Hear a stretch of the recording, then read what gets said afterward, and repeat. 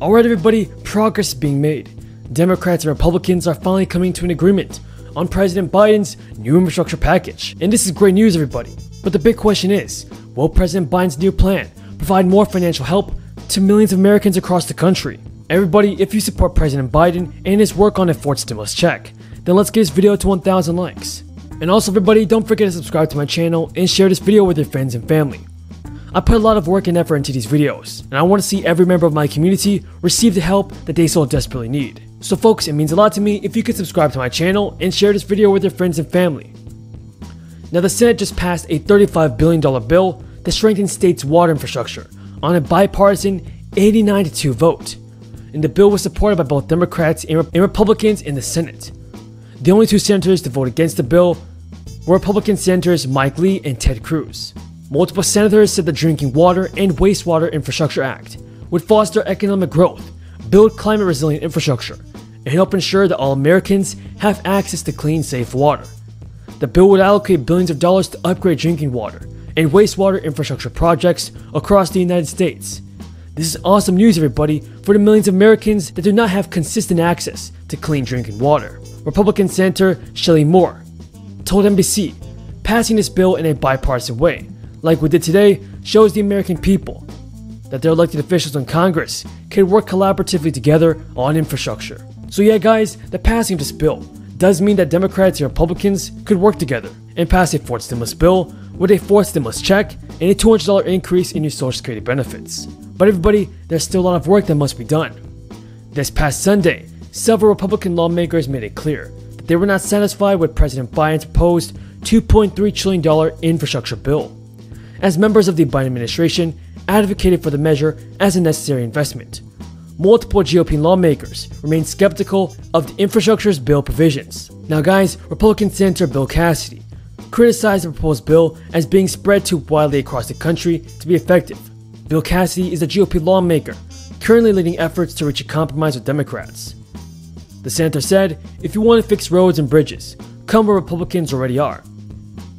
If you're talking about spending hundreds of billions of dollars on public sector unions, we're far apart. So folks, will Social Security recipients receive an extra $200 monthly payment? Well, in today's video, everybody, I'll be answering all of your Social Security questions and all of the questions that you have around a fourth stimulus check. Thank you so much for being here, everybody. If you support a fourth stimulus check from Congress, then let's get this video to 1,000 likes. And also, don't forget to subscribe to my channel and share this video with your friends and family. Right now, everybody, President Joe Biden is proposing a major expansion of the government's role in long-term care. Many Americans are questioning some key provisions of Joe Biden's infrastructure plan.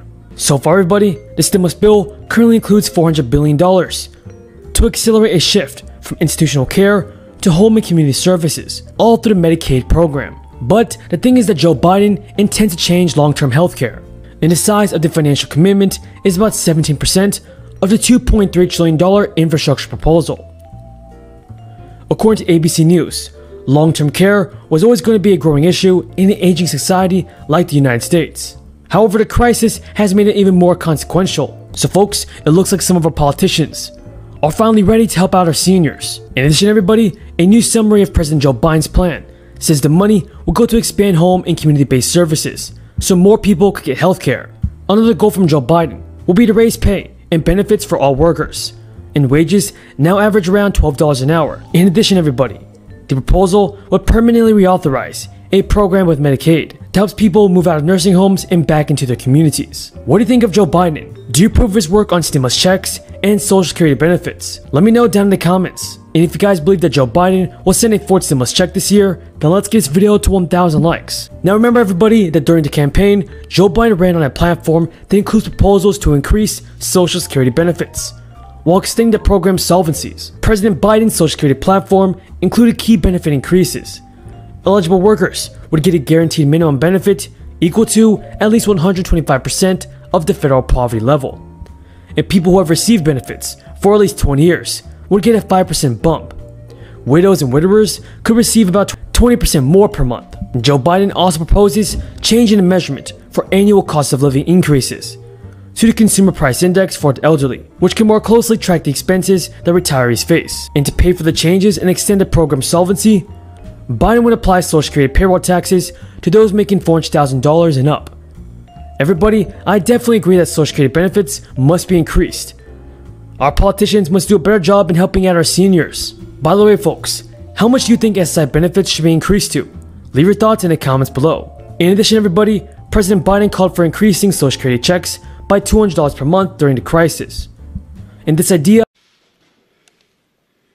Good afternoon. It's exactly 12. Good afternoon, sir. I want to, uh, I want to put today's jobs report in perspective. Three months before I got here, the economy added about 60,000 jobs a month.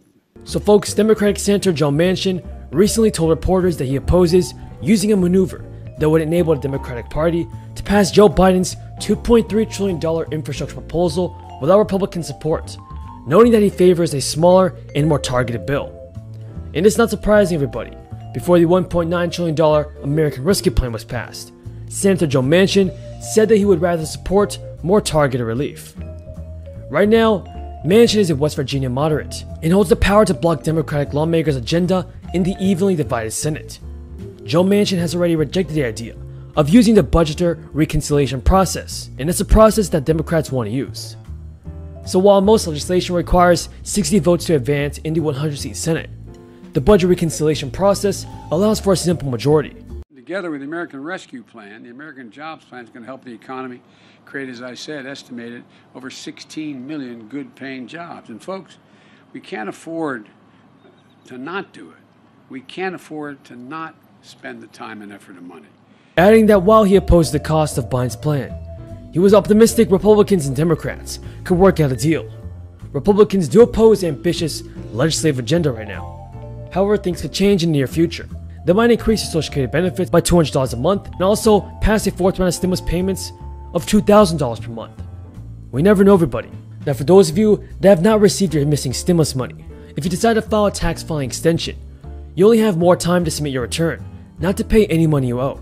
Some of you could be eligible for a top off payment if the tax return you submit this tax season shows that your income dropped since last year. However, the IRS has urged federal beneficiaries to file a return in order to make sure that eligible dependents are included. The government is also encouraging people who does not have a For millions of Americans, Social Security is a lifeline. Nearly two thirds of all seniors depend on it for most of their income, keeps 15 million people out of poverty, and for millions of people who suffer accidents, who get sick, Social Security disability insurance is there when they need it. We must protect Social Security. And that's why we're all here, is to protect Social Security. If you meet the eligibility requirements, you could receive some financial support starting next month. An official fourth stimulus check plan has been proposed, and remember, everybody, that the whole goal of this channel is to provide you with the most up to date and reliable stimulus check news. I want to see every member of my community receive the much needed stimulus payments. So, Chuck Schumer